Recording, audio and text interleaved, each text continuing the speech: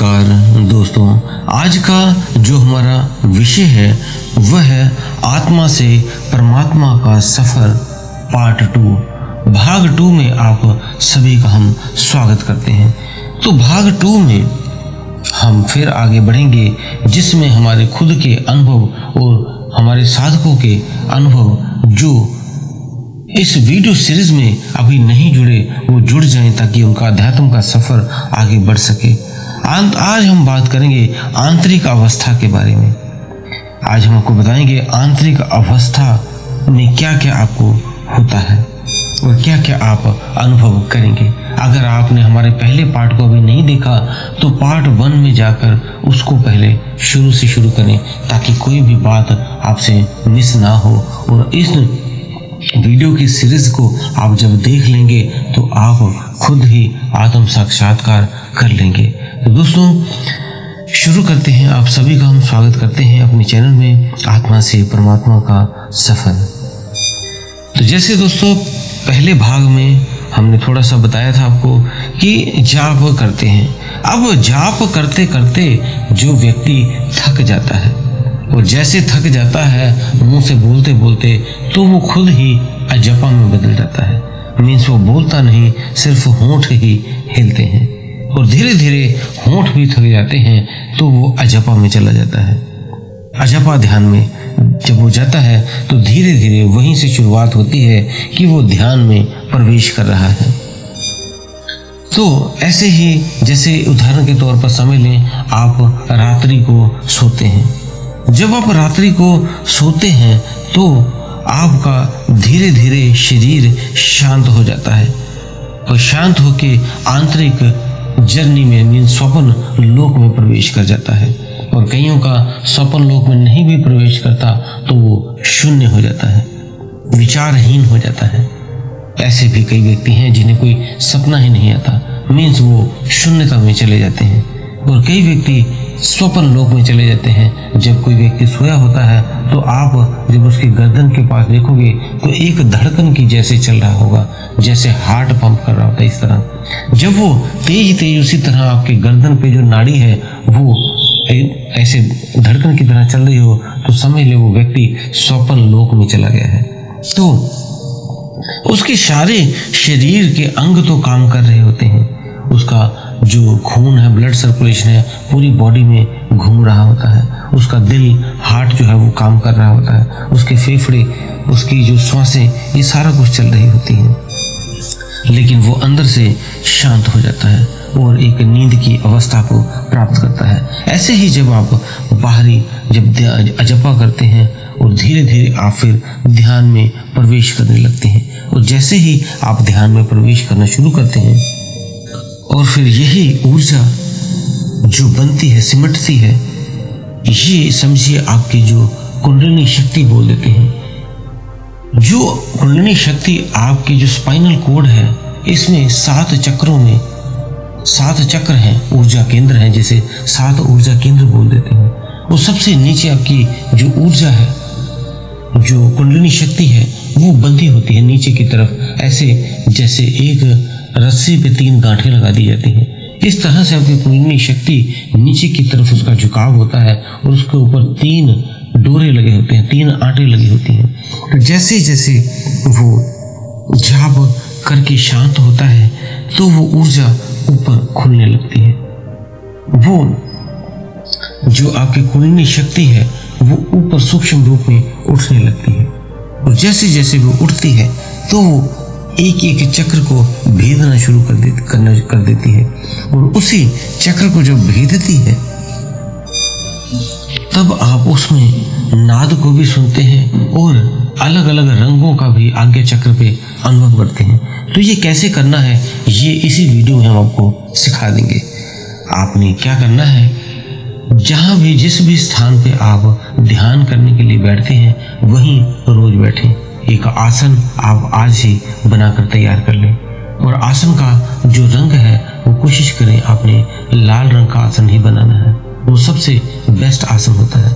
तो आपने जो गद्दा नुमा एक आसन बना लेना है, जिसमें आपका शरीर पूरी तरह जब आप बैठे तो उसके बीच में ही रहे। बाहर की तरफ़ ना स्पर्श करें। और जब बैठना है तो सहज बैठे। टेढ़ा मेढ़ा होकर ना बैठे और पूरी रीढ़ की हड्डी को सीधा रखें, कहीं भी झुकाव ना रखें और हाथों की उंगलियों को आपस में फंसा लें। दोनों उंगली, दोनों हाथों की उंगलियों को एक दूसरे में फंसा कर उसको आप, जहाँ आपके पैर हैं बीचों बीच वहाँ पे रख लें। और फिर आपने जो वाचक जाप है, वो शुरू करना है। धीरे धीरे वो मानसिक जाप में बदल जाएगा। और फिर धीरे धीरे आप ध्यान में प्रवेश करना शुरू कर देंगे। जैसे जैसे आप ध्यान में प्रवेश करेंगे, आपका शरीर सुन्न होना शुरू हो जाएगा। आपको पैरों का अनुभव खत्म होने शुरू हो जाएगा। आपके हाथों का अनुभव खत्म होना शुरू हो जाएगा। आपका जो शरीर है बाकी, वो भी खत्म होना शुरू हो जाएगा। सिर्फ़ आपकी जो चेतना है, वो सिर के ऊपर आपको लगेगी बस। कि आप आगे चक्र और सहस्त्रार चक्र के बीचों बीच हो। बाकी जगह आप कहीं भी नहीं रहोगे, क्योंकि ऊर्जा सारी सिमटती सिमटती ऊपर आने लगती है। बस आपको यही लगेगा, आपका सिर है। गले से ऊपर का हिस्सा ही आपको महसूस कर पाओगे। बाकी का नीचे का हिस्सा आपका ऐसे लगेगा, जैसे खत्म हो गया है। सारी चेतना ऊपर उठनी शुरू हो जाएगी। ऐसा इसलिए होता है क्योंकि जैसे आप बैठ जाते हो जाप करते करते तो आपके सारा शरीर जो है, वो जैसे नींद में आप जाते हो तो वो स्वप्न लोक में प्रवेश करता है। इसी तरह वो ऊर्जा ध्यान में प्रवेश करना शुरू करती है। तो वो सारी ऊर्जा आपके शरीर से उठने लगती है। वो एक एक चक्रों को पार करने लगती है और एक एक चक्रों को भेदती भेदती ऊपर आती है। और जब ऊपर आती है तो वो चेतना इकट्ठी होकर आपके मस्तिष्क में आ जाती है। तब आपका शरीर नीचे का हिस्सा खत्म सा लगता है, क्योंकि उसमें से ऊर्जा सारी निकलकर वो शून्य हो गया है और वो एक तरह डेड सा ही आपको लगेगा। सारी चेतना, सारी शक्ति आपके माथे के बीचों बीच आ जाती है। तो ये आपका जो ऊर्जा है, अपने आप उठेगी आपको कोई चीज़ करने की ज़रूरत नहीं है। आपने जाप करके बस बैठे रहना है। ऊर्जा अपने आप एक एक चक्रों को भेदती चली जाएगी। और जैसे जैसे वो चक्रों को भेदती है, जैसे पहले चक्र पे को भेदेगी तो पहला चक्र मूलाधार चक्र होता है। और इसका जो रंग है, वो लाल होता है। तभी कई साधकों को शुरू में लाल रंग आगे चक्र पे दिखाई देता है, क्योंकि वो पहला चक्र भेद रहा होता है। जैसे जैसे ऊर्जा ऊपर और उठती है मीन्स कुंडलिनी शक्ति आप उसे बोल दें। और उठती है और दूसरे चक्र में पहुँच जाती है। तो दूसरे चक्र में ऑरेंज कलर आपको आगे चक्र पे दिखाई देता है, जब वो भेदती है। और इसी तरह जैसे जैसे जिस चक्र को भेदेगी और उसकी एक तो प्रकाश तो दिखाई देता है उस रंग का, और साथ ही साथ एक और नाद भी सुनाई देता है। जैसे आप सुनते हो अलग अलग नाद तो वो इन्हीं चक्रों को भेदते भेदते जब जाते हैं तो अलग अलग नाद भी सुनाई देते हैं कई साधकों को। वीणा, शंख, घंटी और भी कई उनको आवाज़ें सुनाई देती हैं। तो धीरे धीरे जब और ऊर्जा ऊपर आती है मीस आपके तीसरे चक्र पे जो नाभि दल के पास है, नाभि पे है, वहाँ जब ऊर्जा पहुँचती है तो हमें माथे पर पीले रंग दिखाई देता है येलो कलर क्योंकि जो तीसरा चक्र है, वो पीले रंग का होता है। और फिर जैसे जैसे और ऊर्जा ऊपर उठती है तो आपके हार्ट चक्र पे, हृदय चक्र पे पहुँचती है। और इसका जो रंग होता है, वो हरे रंग का होता है। तो यही आपको जो आगे चक्र पे किसी किसी को हरा रंग दिखाई देता है। और फिर ऊर्जा और ऊपर जब उठती है तो वो आगे चक्र पे आपके थ्रोट चक्र पे पहुँच जाती है। जो थ्रोट चक्र है, वो गले पे होता है आपके। वहाँ पे जो गले पे पहुँचती है तो एक स्काई कलर का रंग दिखाई देता है। और फिर जैसे और ऊर्जा ऊपर उठती है तो आपके आगे चक्र पे आत्म लोक में आत्म देव के पास पहुँच जाते हैं। और वहाँ पे आपको बैंगनी कलर दिखाई देता है, जिसे डार्क नीला रंग भी कह देते हैं।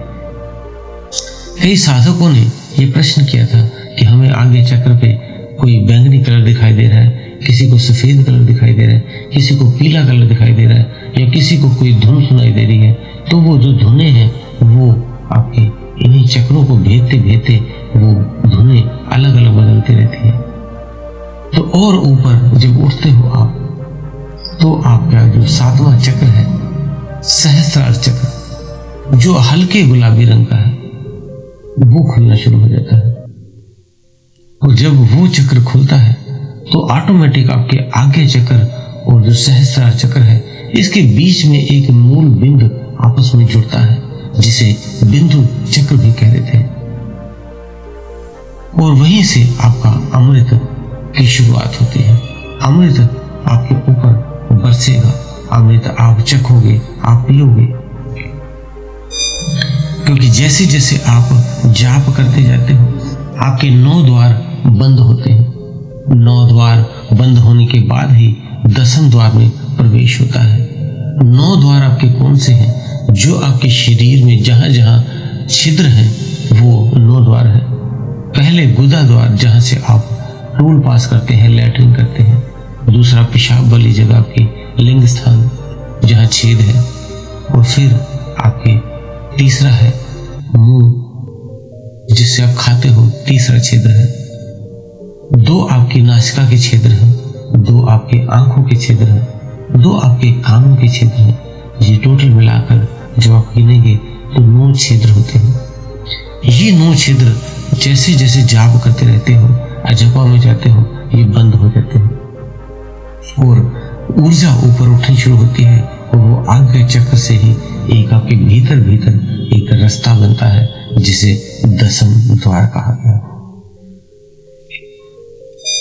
अब सभी साधकों को उत्तर मिल गया होगा कि उन्हें आगे चक्र पे प्रकाश अलग अलग क्यों दिखाई देते हैं?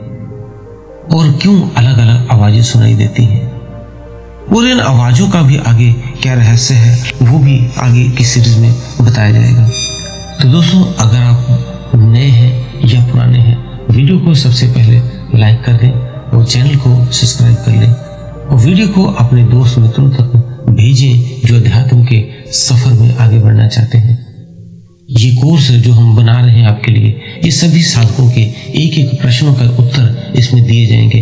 कहाँ कहाँ क्या परेशानी आएँगी, क्या उन्हें महसूस होता है, हर चीज़ के अनुभव इस सीरीज़ में आपको बताए जाएँगे।